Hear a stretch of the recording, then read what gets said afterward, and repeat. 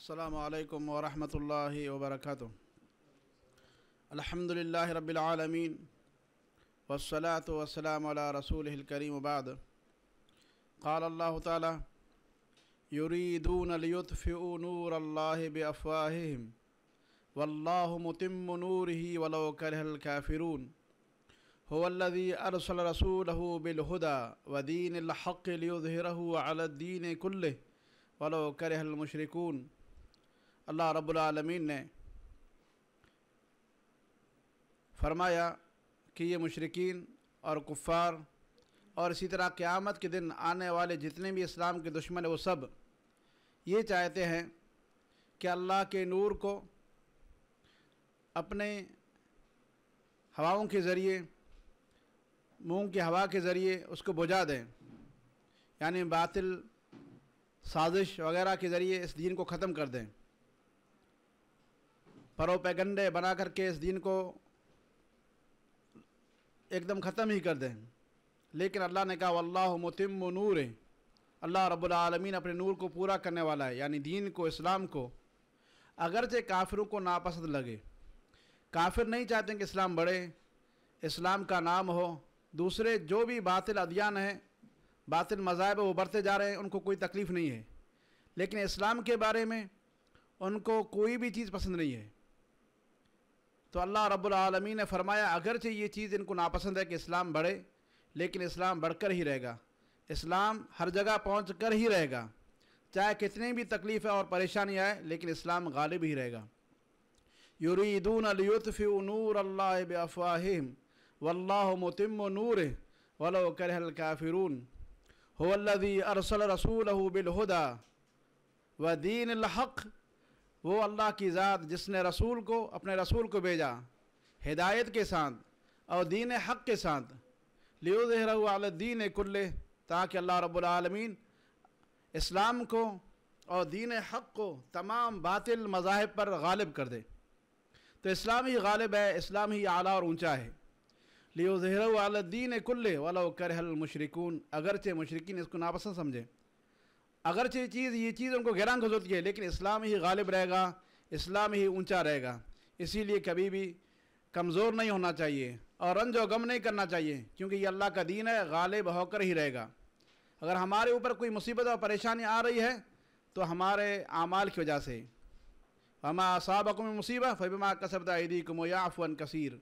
तो हमारे ऊपर कोई मुसीबत आ रही है तो तुम्हारे अमाल की वजह से, तुम्हारे करतूतों की वजह से और बहुत सारे अल्लाह रब्बुल गुनाहों को माफ़ कर देता है। बहरहाल, आज का जो दर्स है, मुस्तला के अंदर वह हदीस मकलूब के बारे में, हदीस मकलूब। हदीस मकलूब किसको कहते हैं? उसकी क्या तारीफ़ है लोगत में अतलाह में, उसकी कितनी किस्में हैं? हदीस के अंदर कल्ब क्यों होता है? उसको किस तरह से पहचानेंगे, उसका क्या हुक्म है, ये सारी चीज़ें इन मिसालों के साथ ज़िक्र की जाएँगी। अल्लाह रब्बुल आलम से दुआ कि अल्लाह रब्बुल आलम हमें समझने की तौफीक दे और समझाने की तौफीक दे। हदीस मकलूब, ये ज़यीफ़ हदीस की एक किस्म है। हदीस मकलूब ज़यीफ़ और कमज़ोर हदीस की किस्मों में से एक किस्म है। हदीस मकलूब ये इसमें मफूल है लगत में इसमें मफूल है। कलब यकलब कलबन से। जिसका माना होता है फेर देना, उलटना, पलटना। कहा जाता है कलब शय किसी चीज़ को उन्होंने उल्टा दिया, पलटा दिया। यानी एक जगह पर कोई चीज़ थी तो उसको उन्होंने वहाँ से हटा दिया। ऊपर थी, नीचे कर दिया, नीचे को ऊपर कर दिया। दाएँ को बाएँ तरफ़ कर दिया। तो इसका नाम है कल्ब।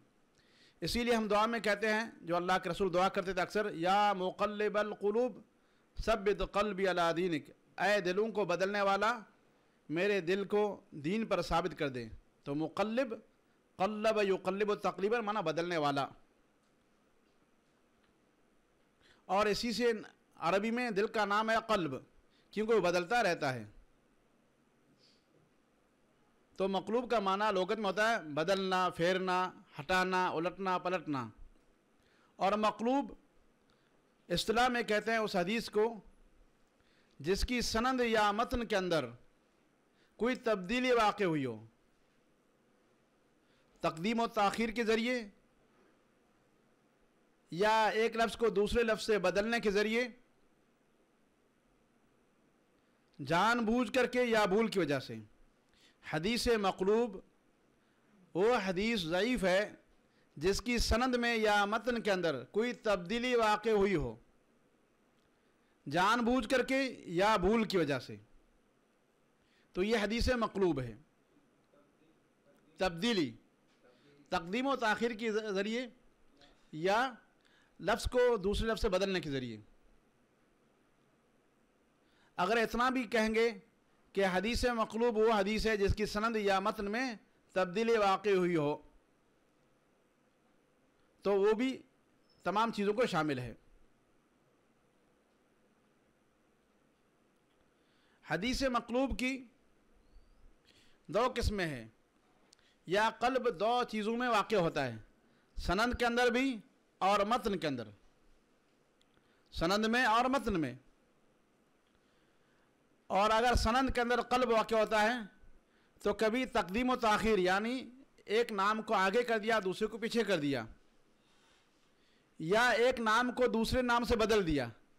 तक, यानी इब्दाल जुज़ई, यानी पूरा, पूरी सनद तब्दील नहीं होती है, लेकिन कोई नाम तब्दील होता है। या नाम के अंदर तकदीम तखिर होती है। और एक होती है तब्दील कुल्ली, इब्दाल कुल्ली, यानी पूरा का पूरा तब्दील हो जाना, यानी पूरी सनद को बदल दिया दूसरी सनद से। तो सनद के अंदर जो तब्दीली वाक़ होती है, यानी कल्ब की दो किस्में हैं, एक कल्ब सनद। सनद के अंदर तब्दीली का वाक़ होना? इसकी तारीफ़ ये है कि मकलूब सनद वो हदीस है जिसकी सनद के अंदर तब्दीली वाक़ हो, तब्दीली वाक़ हुई हो, तगीर वाक़ हुई हो। और इसकी दो किस्में हैं। कल्ब सनद की दो किस्में जुज़ी और कुली। जुज़ी का मतलब उसके सनद के किसी हिस्से में तब्दीली वाक़ हुई हो। यानी पूरा, पूरी सनद न बदली हो, लेकिन कोई नाम बदला हो, और इसी तरह उसके अंदर तकदीम व ताखिर भी आ जाती है।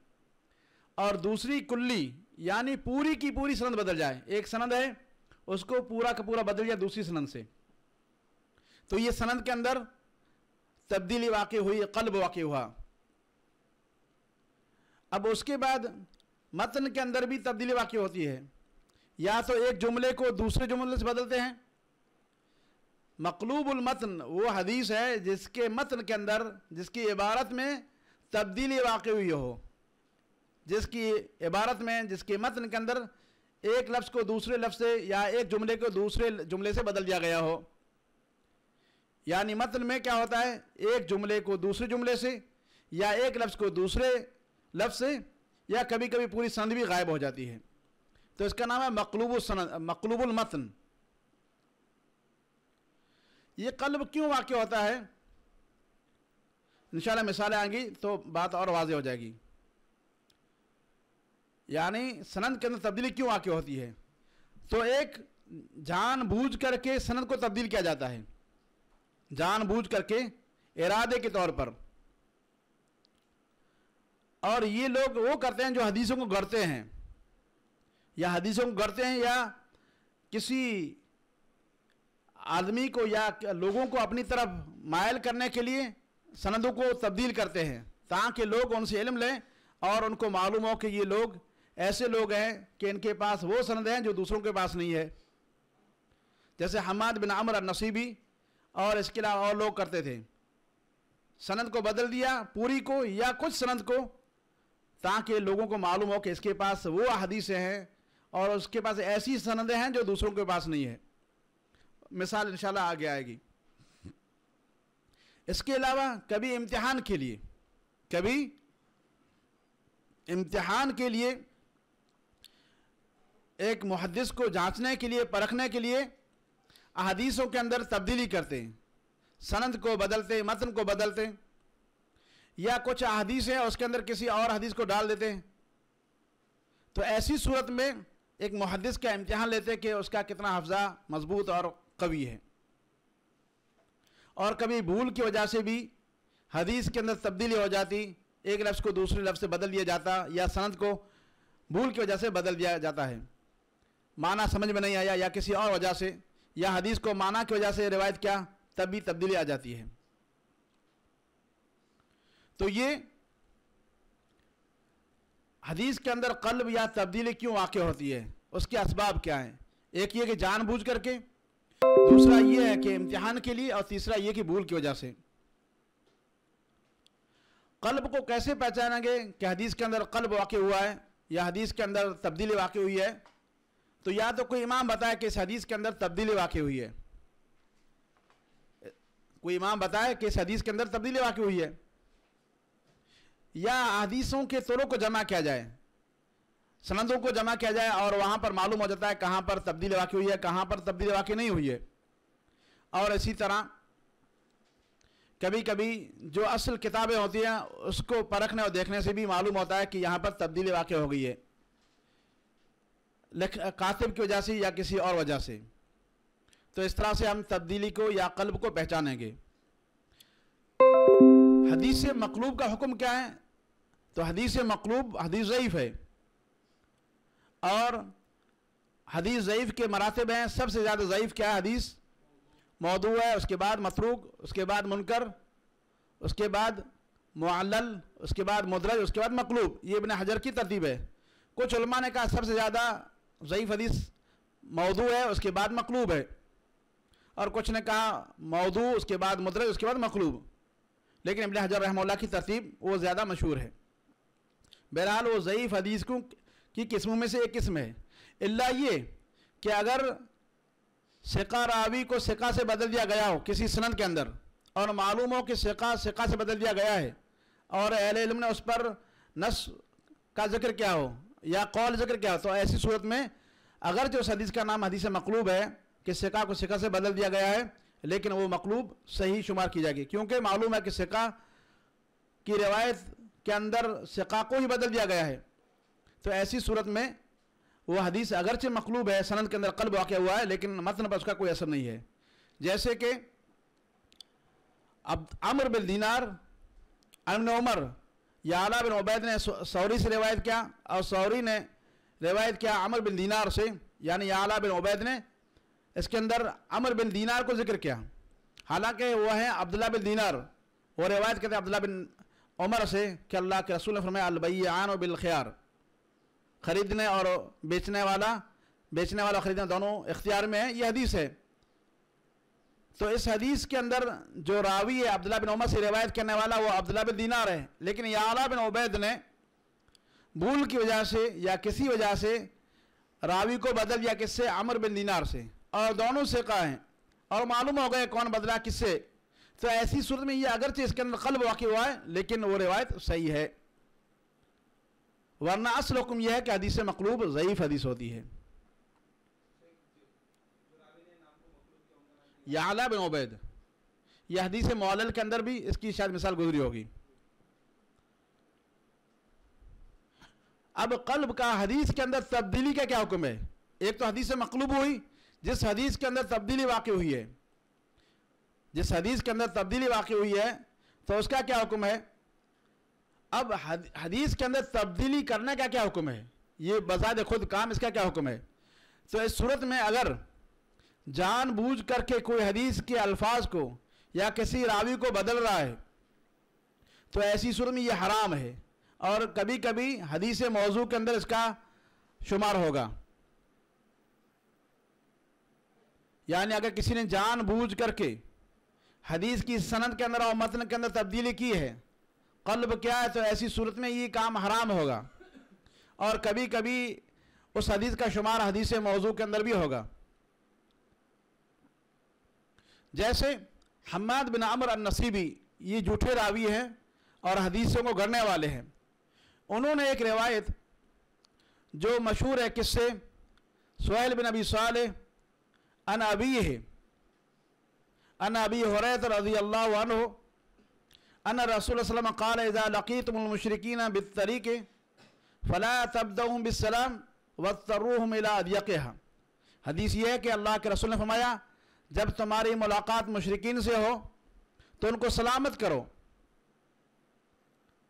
उनको सलामत करो और उनको इस तरह से तंग करो कि वो रास्ते के जो सबसे कम रास्ता है, तंग रास्ता है, वहाँ पर चले जाएँ। ये हदीस है। इस हदीस को रिवायत करने वाले कौन अबू हुरैरा। अबू हुरैरा से रिवायत करने वाले अबू साले हैं और उनसे रिवायत करने वाले उनके बेटे सोहेल हैं। अब सोहेल को हमान बिन आमर नसीब ने बदल दिया। किसे? आमश से। आमश से तो हमाद बिन आमर नसीब ने सोहेल को बदल करके कहा अलामश अनबी अनबी साल अनबी हो आमश भी सेकाएँ सोहेल भी सेकाएँ लेकिन बदलने वाले कौन हैं? हमाद बिन आमर नसीबी हैं, जो झूठे रावी हैं, ताकि लोग उनसे हदीस को लें इमाम ओकेली फरमाते हैं कि यह हदीस आमश से मशहूर नहीं है, बल्कि सुहेल रिवायत कहते हैं अबी साले से और वो अबू हुरैरा से। और इसी को रिवायत क्या है? सुफियान सौरी ने सोहेल से, इसी तरह अब्दुल अज़ीज़ दरावर्दी ने सोहेल से। तो सोहेल अपने बाप अबू साले से रिवायत करें, वो अबू हुरैरा से। लेकिन हमाद बिन अमर नसीब ने जान बूझ करके सोहेल को हटा करके आमश का नाम रख दिया। हालाँकि यह आमश की रिवायत नहीं है।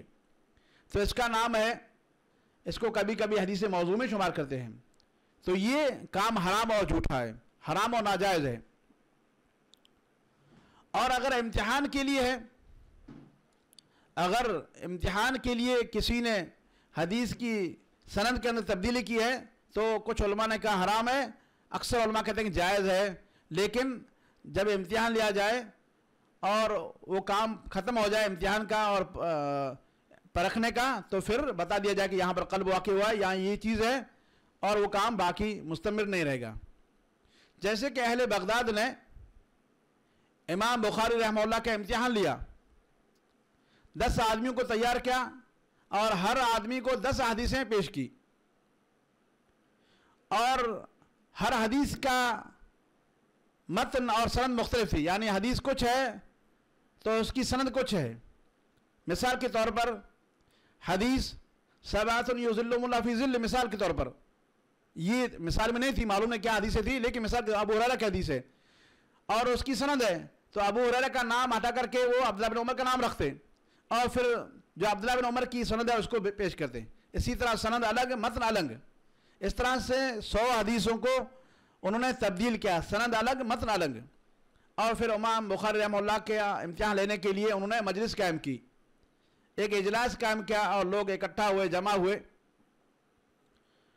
जमा होने के बाद इमाम बुखारी आए, सब लोग मुंतज़र थे।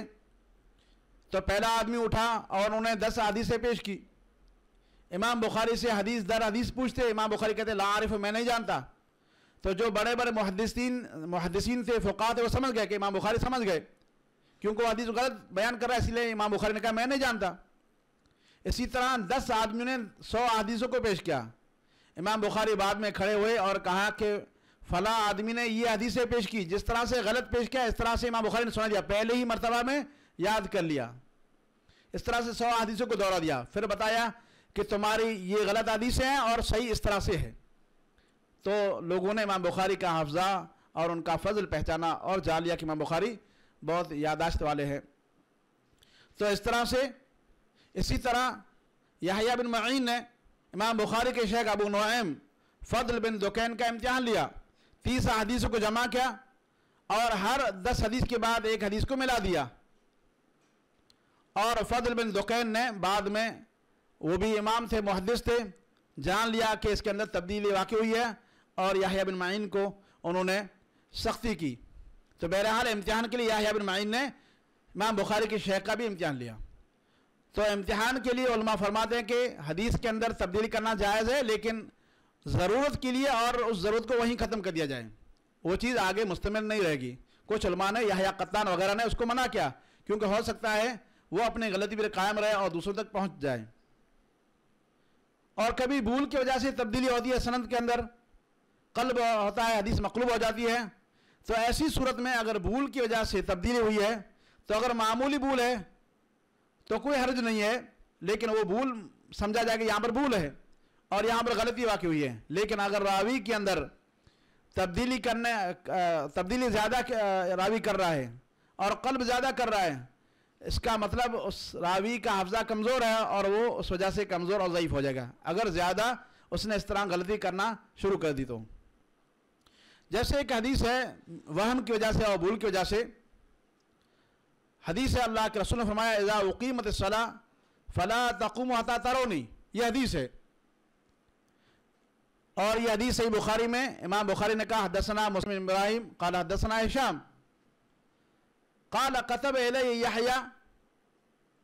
यानी यहया बिन अबी कसीर, अन अब्दुल्ला बिन अबी कतादा, अन अबी है अन रसूल सल्लम काल इज़ा वकीमत सला फ़ला तकुम हता कि जब इकामत हो जाए तो मत खड़ा हो, मत खड़े हो जाओ, यहाँ तक कि मुझे देख लो। ये हदीस है बुखारी के अंदर। इस हदीस की सनद क्या है? अबू कतादा, हारिस बिन रबी साहबी हैं रज़ी और उनसे रिवायत करने वाले उनके बेटे अब्दुल्ला हैं। और उनसे रिवायत करने वाले याहिया बिन अबी कसीर हैं, जो भी बहुत बड़े मुहदस थे। उनके बारे में कहा जाता है कि जब कि जब वो जनाजे में हाजिर होते तो तीन दिन तक खाना उनको अच्छा नहीं लगता था। याहिया बिन कसीर और उनसे रिवायत करने वाले हिशाम हैं। इस हदीस को, इस सनद को पूरी की पूरी को बदल दिया किसने? जरीर बिन हाजिम ने। जरीर बिन हाजिम ने। इसको रिवायत किया साबित से और उनसे रिवायत किया उन्होंने अनस से। जरीर बिन हाजिम ने इस हदीस को बदल दिया। लेकिन भूल की वजह से, किसकी वजह से? भूल की वजह से। कहते हैं, हमाद बिन जैद के हम साबिर के पास थे तो और वहाँ पर कौन थे? जरीर भी थे साथ में। तो हज्जाज इब्न अबी उस्मान, हज्जाज जो सवाफ सका रावी है, वो भी थे। तो उन्होंने हदीस बयान की किससे याहिया बिन कसीर से, उन्होंने अब्दुल्ला बिन अबी कतादा से, उन्होंने अपने बाप कतादा से, अबू कतादा से। अबू कतादा हारिस बिन रबी तो जरीर ने यह समझा कि इस हदीस को रिवायत करने वाले कौन है? साबित हैं। साबित अलबुनानी। तो उन्होंने वह मबूल की वजह से फिर हदीस को रिवायत किया, जरीर अनसाबित अनानसिन लेकिन पूरी सनद को उन्होंने बदल दिया वह मबूल की वजह से। तो ये सनद के अंदर कल्ब वाक़ हुआ है। और ये भूल की वजह से कल्ब वाक़ हुआ है। तो ये हदीस के अंदर कल्ब करने का क्या हुक्म है? उसके बारे में बहस गुजरी। इससे पहले गुजरा कि हदीस के अंदर कल्ब जो होता है वो सनद के अंदर होता है और मतन के अंदर। तो सनद के अंदर, जैसे कि मिसाल गुजरी, पूरी की पूरी सनद को बदल देना, सनद के अंदर तब्दीली और वाक़ हो। जैसे कि जरीब ने हाजिर ने पूरी सनद को बदल दिया। हालाँकि सनद क्या है? याहिया इब्न कसीर अब्दुल्ला इब्न अबी कतादा, अन अबी है, अन रसूल वसल्लम। लेकिन जरीर बिन हाजिम ने इसको पूरा बदल दिया साबित से और साबित ने अनस से। यानी वो साबी भी नहीं है और वो उससे रिवायत करने वाला वो शख्स भी नहीं है, पूरी सनद को बदल दिया। तो इसका नाम है कल्ब कुल्ली कल्ब कुल्ली या तब्दील कुल्ली, पूरी की पूरी सनद को बदल देना। और इसी तरह एक रावी को बदल देना, एक रावी को बदल देना। जैसे कि हमाद बिन अमर नसीबी ने सुहेल को बदल करके आमज को रख दिया। और उन्होंने बात किया अबू साले से और उन्होंने अबू रेरा से। हालाँकि वहाँ पर आमश नहीं है, बल्कि सोहेल है। तो यहाँ पर तब्दीली कहाँ पर वाकई हुई? रावी, एक रावी को दूसरे रावी से बदल दिया। इब्दाल राविन बिराविन, एक रावी को दूसरे रावी से बदल देना। कभी कभी तकदीम व ताखिर के ज़रिए, तकदीम व ताखिर के ज़रिए भी तब्दीली वाक़ होती है सनत के अंदर। जैसे कि इमाम अबू हातिम रहमल्ला ने कहा, जब उनके सामने हदीस पेश पेश की गई, सुफियान, अन हकीम बिन साद, अन इमरान बिन जुबियान, अन सलमान। सुफियान अबू हातिम के सामने जब सनत पेश की गई, सुफियान, अन हकीम बिन साद, अन हकीम बिन साद, अन इमरान बिन जुबियान अन सलमान तो इमाम अबू हातिम ने फरमाया कि हाज हदीस मकलूब, ये हदीस मकलूब है, यानी ये सनद मकलूब है। असल में है सुफियान, अन इमरान, अन हकीम। सुफियान, अन इमरान, अन हकीम, अन सलमान। तो वहाँ पर शागिर्द को शेख का दर्जा दिया गया। तो कहा कि यहाँ पर तकदीम तखिर हुई है या कल्ब वाक़ हुआ है। तो कभी कभी रावी को आगे पीछे करने से भी कल्ब वाक्य हो जाता है। तो हकीम बाद में है और पहले इमरान है, लेकिन वहाँ पर क्या है? हकीम अन इमरान। तो इमाम अबू हातिम ने कहा, यहाँ पर कल्ब वाक्य हुआ है।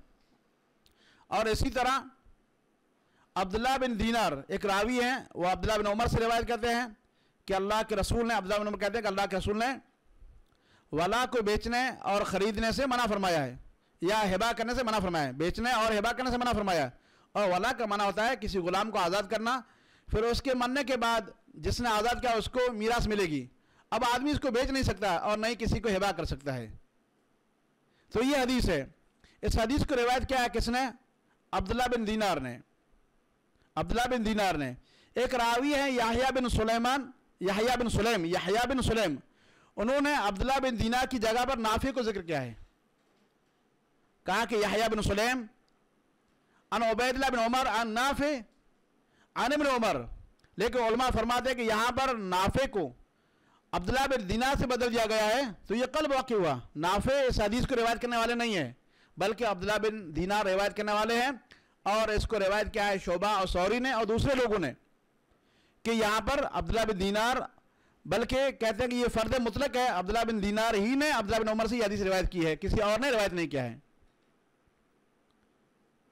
इसी तरह उबैदुल्ला बिन उमर जिससे यहया बिन सुलेमान रिवायत किया, उनसे रिवायत करने वाले अब्दुल्ला वहाब सक़फ़ी हैं अब्दुल्ला वहाब सक़फ़ी और अब्दुल्ला बिन उमर, उन्होंने भी उबैदुल्ला बिन उमर से अन अब्दुल्ला बिन दीनार, अन बिन उमर ज़िक्र किया है। अब्दुल्ला बिन दीनार का उन्होंने भी ज़िक्र किया है। तो गोया कि यहाँ पर याहया बिन सलेम ने अब्दुल्ला बिन दीनार को नाफे से बदल दिया। हालाँकि हैं कौन? Abdullah bin Dinar. तो कभी कभी एक रावी को दूसरे रावी से बदल बदल देना, इसका नाम है कल्ब। अगर सिक्का है तो मसला नहीं है, लेकिन अगर ज़यीफ़ बदल जाएगा तो हदीस क्या है? ज़यीफ़ हो जाएगी। इसी तरह अगर बाप और बेटे के नाम को आगे पीछे कर दिया, तब भी इसका नाम है कल्ब। जैसे का बिन मुर्रा असल है तो कोई भूल की वजह से कहता है मुर्रा बिन काब। या कोई इस तरह का रावी हो तो उस में ये भी कल्ब वाक़ होगा। तो ये सनंद के अंदर कल्ब है। सनंद के अंदर तब्दीली वाक़ हुई है। तो सनंद के अंदर तब्दीली वाक़ होती है। नाम को आगे पीछे करने से, या बाप और बेटे के नाम को आगे पीछे करने से, बेटे को बाप बना दिया, बाप को बेटा बना दिया तो उस सूरत में भी कल्ब वाक्य होगा? और इसी तरह एक रावी को दूसरे रावी से बदल दिया तो उस सूरत में ये कल्ब वाक्य होगा? और इसी तरह से एक सनद को पूरी सनद से बदल देना, इसका भी नाम कल्ब है। और मसला मुश्किल कहाँ पर होगा? जब किसी ज़यीफ़ रावी को बदल दिया ज़यीफ़ रावी को बदल दिया। या इसी तरह से जब तब्दीली वाक़ हो, हो गई कुनियत को बदलने में या इसी तरह से नाम को बदलने में और कभी कभी मुदलस इस तरह से करता है ताकि अपने शेख ज़यीफ़ को छुपा दे तो इसका भी नाम उलमा कल्ब के अंदर या हदीस मकलूम में शुमार करते हैं। मतन के अंदर भी कल्ब वाक़ होता है मतन के अंदर भी कल्ब वाक़ होता है। तो उसकी चंद मिसालें पेश की जाए इन सबसे पहले हदीस सही बुखारी के अंदर, इमाम बुखारी ने रवायत किया, इसी तरह इमाम मुस्लिम ने भी। हदीस मशहूर है सब युज़िल्ला फ़ी ज़िल्ल, सात किस्म के ऐसे लोग हैं, जिनको अल्लाह रब्बुल अरश के हिस्सा में जगह देगा। और वो सब हमें मालूम है कौन कौन लोग हैं। उसके बाद छठे नंबर पर है जो सदका करने वाला वरजुल तसदक़ बेसदक़तिन फ़ाख़फ़ा हत्ता तालम शिमाल मातुनफ़िक यमीन।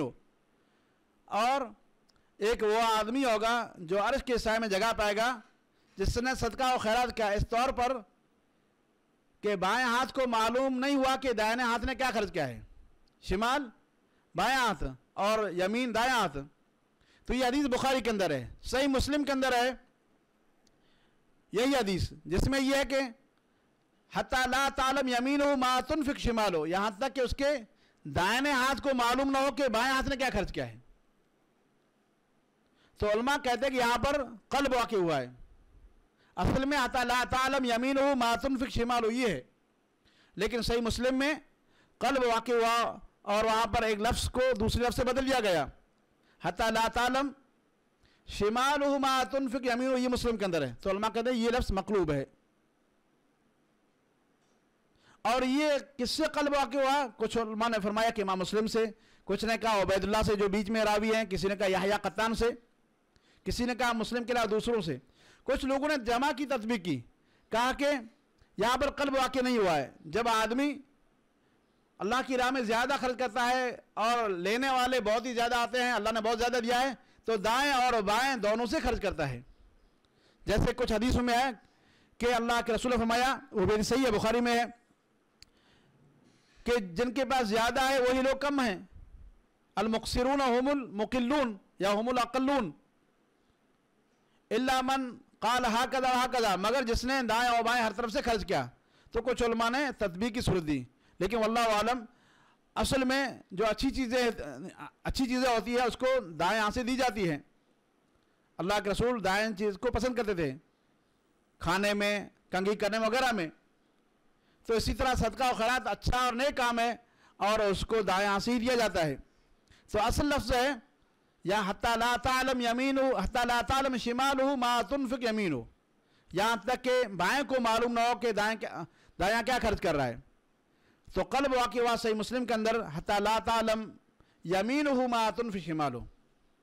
इसी तरह से दूसरी हदीस है, हज़रत बिलाल की, आज़ान के बारे में कि अल्लाह के रसूल फरमाया इस हदीस की रिवायत क्या सैद आशा ने और अब्दुल्ला बिन उमर ने कि इन बिलाल युवाजिन बिल्लाइन फ़कूल वशरबू हत्ता युवाजिन इबन मखतूम कि बिलाल रज़ी अल्लाह आज़ान देते हैं रात के वक्त तो खाओ और पियो, यानी तहजद के लिए या जो तहजद पढ़ रहे उनको रोज़े की, रखने की, तंबी करने के लिए और सुनने वालों को जगाने के लिए आज़ान देते हैं।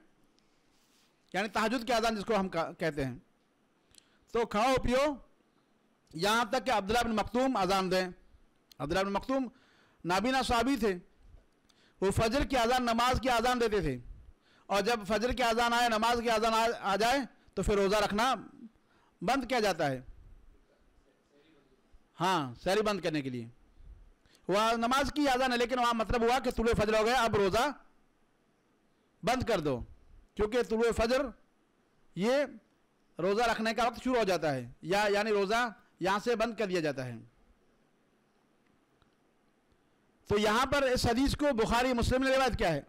इबन हिब्बान वगैरह के अंदर है और उसको रिवायत करने वाली जो औरत है वो ओनेसा ओनेसा बिन खुबैब।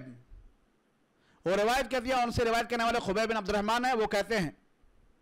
यानी वो कहती हैं, ओनेसा, कि अल्लाह के रसूल ने फरमाया इन बिन मखतूम के इबन मखतूम युआजिन बिलैल फ़कूल वशरबू कि वो रात को आज़ान देते हैं कौन अब्दुल मखतूम रात को आज़ान देते हैं खाओ और पियो हत्या युआजिना बिलाल यहाँ तक कि बिलाल आज़ान दे यहाँ पर उल्टा हो गया पहले कौन थे बिलाल रात में आज़ान देने वाले थे और यहाँ पर कौन हो गए इबन मखतूम हो गए तो फरमाते हैं कि उनैसा की रिवायत ये मकलूब है असल में बिलाल रात में आज़ान देते तहजद की आज़ान और फिर दूसरी आज़ान कौन देते हज़रत इबन मखतूम रज़ी देते कुछ जमा की तदबी की, इबन खुजैमा इबन हिब्बान ने, कि हो सकता है कभी इनकी बारी और कभी इनकी बारी, लेकिन सही है उलमा फरमाते हैं कि यहाँ पर कल वाक़ हुआ है, सही बुखारी मुस्लिम के अंदर ये है कि बिलाल रात में आज़ान देते हैं, खाओ पियो, यहाँ तक इबन मखतूम आज़ान दे।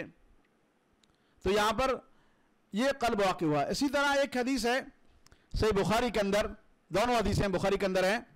और इमाम बुखारी रहमल्ला ने उसको रिवायत किया अब्दुलरज़ाक बिन हमाम से, उन्होंने मामर से और उन्होंने हमाम मुनबे से, अना भी हो रहा जिसमें यह मशहूर हदीस है कि जन्नत और जहन्नम में झगड़ा किया, तहाजतिल जन्नत वन्नार जन्नत और जहन्नम ने आपस में झगड़ा किया। जन जहन्नम ने कहा कि मेरे अंदर मुतकबरीन और बड़े बड़े शर्कश लोगों को डाला जाएगा। जन्नत ने कहा कि मेरे मुझे क्या होगा, मेरे अंदर जो जाएँगे वो कमज़ोर और गरीब लोग जाएँगे। तो अल्लाह ने फरमाया कि जन, जन्नत को कि तुम मेरी रहमत है जिस पर चाहो रहमत करूँ और जहनम को फरमाया आग को कि तुम मेरा आज़ाब जिसको चाहो मैं आज़ाब दूँ। ये हदीस है। फिर आखिर में मशहूर हदीस आप सब जानते हैं कि फिर जन्नत में जगह बच जाएगी। जन्नत में जगह बच जाएगी। तो अल्लाह रबुल जन्न फ़युनशुलकन जन्नत में जगह बाकी रहेगी जाने के बाद भी तो अल्लाह रब्बुल आलमीन और किसी मखलूक को पैदा करेगा और उससे जन्नत को भर देगा। जहन्नम के अंदर जगह बाकी है। वो भी खाली है। कहेगी, हल में मजीद और कुछ है, और कुछ है।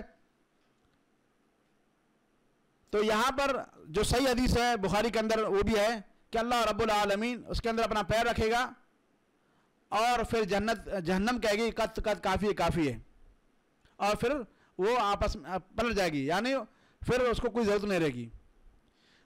सही बुखारी के अंदर रिवायत दूसरी है जिसमें साल बिन कैसान आरज से रिवायत करते हैं।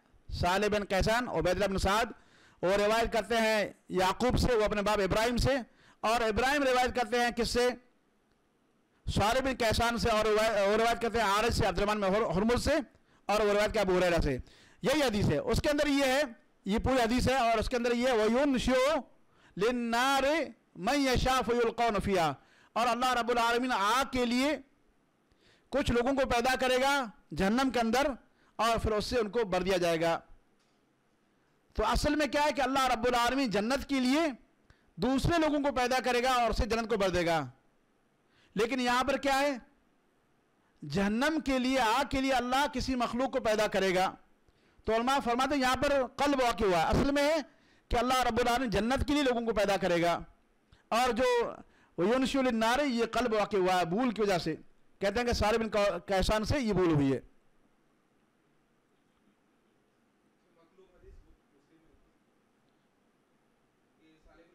बुखारी के अंदर, ये भी बुखारी के अंदर है। लफ्स के अंदर, यानी यहाँ पर क्या है? और इमाम बुखारी इसीलिए इसको ज़िक्र क्या है कि यहाँ पर कभी कभी इमाम बुखारी, मुस्लिम दोनों तीन चार हदीस को बयान करते हैं ताकि जहाँ पर कुछ खामी है वो ज़ाहिर हो जाए। इसी तरह चौथी हदीस है, जो मशहूर हदीस है बुखारी के अंदर अब्दुल्ला उमर की, कि अब्दुल्ला उमर ने कहा कि मैं हफ्सा के घर में चढ़ा, घर के ऊपर चढ़ा तो अल्लाह के रसूल को देखा कि अल्लाह के रसूल कज़ाए हाजत कर रहे हैं, पेशाब कर रहे हैं।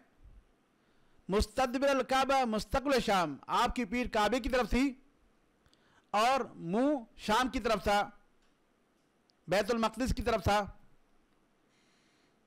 इबन हिब्बान वगैरह के अंदर है मुस्तबिल काबा मुस्तबिल शाम। कि आपका मुँह काबे की तरफ़ था और पीठ शाम की तरफ़ थी? तो अलमा फरमाते कि यह हदीस क्या मकलूब है? असल में है काबे की तरफ़ पीठ थी और जैसे कि बुखारी में और शाम की तरफ़ मुँह था। तो इस तरह से हदीस के मतन के अंदर तब्दीली हुई हदीस के मतन के अंदर तब्दीली हुई है। तो ये कैसे मतन जानेंगे, कैसे जानेंगे कि हदीस के अंदर कल्ब वाक़ हुआ है या तब्दीली वाक़ हुई है? तो ये जानेंगे हदीस की सनद को जमा करेंगे। जमा करने के बाद मालूम होगा कहाँ पर तब्दीली वाक़ हुई है कहाँ पर वाक़ नहीं हुई और, और ये उलमा बताएँगे। और इसी तरह कोई इमाम बताए बताए कि यहाँ पर तब्दीली वाक़ हुई है। और इसी तरह से किताबों को जांचने से परखने से यानी जो असल किताबें हैं नुस्खे हैं उसके उसके ज़रिए भी मालूम होता है कहाँ पर तब्दीली वाक़ हुई है। इसी तरह एक और हदीस है कल्ब के बारे में या हदीस मकलू की मिसाल। हदीस मशहूर है सही बुखारी मुस्लिम के अंदर कि अल्लाह के रसूल ने फरमाया इज़ा अमर तुम बेशैन, इज़ा नहे तुक मनशैन निबू जब मैं तुम्हें किस चीज़ से मना करूँ तो उससे दूर हो जाओ। वैज़ा अमर तुम बेशैन फ़ातू मिनो मस्ता तुम ये बुखारी मुस्लिम की रिवायत है। और जब मैं तुम्हें किस चीज़ का हुक्म दूँ तो उसको करो जितनी ताकत हो। तो नहीं में क्या है? हराम काम से बचना ही है। उसमें ताकत नहीं है, ताकत हो या ना हो। और जो अमर है, हुक्म है तो जितना हो सके उसको करो। ये हदीस असल में। इमाम तबरानी रहमल्ला ने जिस तरह से अहले मुस्तला ने बताया है कि इसको रिवायत क्या? जिसमें यह है कि अल्लाह के रसूल फरमाया, इज़ा अमर तुम बेशैन फ़ातू मिन हो जब मैं तुम्हें किसी चीज़ का हुक्म दूँ तो उसको करो। वैज़ा नहे तो कुमानो अनशैन फज तनबू मस्तता तुम अब जब मैं किसी चीज़ से मना करूँ, रोकूँ तो जितना हो सके उससे रुक जाओ। तो असल में है, अमर के बाद ये हुक्म मस्तता तुम जितना हो सके इतना ये अमल करो। लेकिन तबरान की रिवायत में क्या है? मैं, तुम्हें मना कर रहा हूँ, जितना हो सके उससे बचो। तो मस्तता तुम का लफ्ज़ ये, तबरानी के अंदर मकलूब है। असल में है, जब मैं तुम्हें किसी चीज़ का हुक्म दूँ तो जितना हो सके करो। लेकिन तबरानी के अंदर कल वाक़ हुआ उसकी रिवायत भी ये। तो ये हदीस मकलूब के बारे में चंद चीज़ें थी, जिसका बयान आपके सामने पेश किया गया।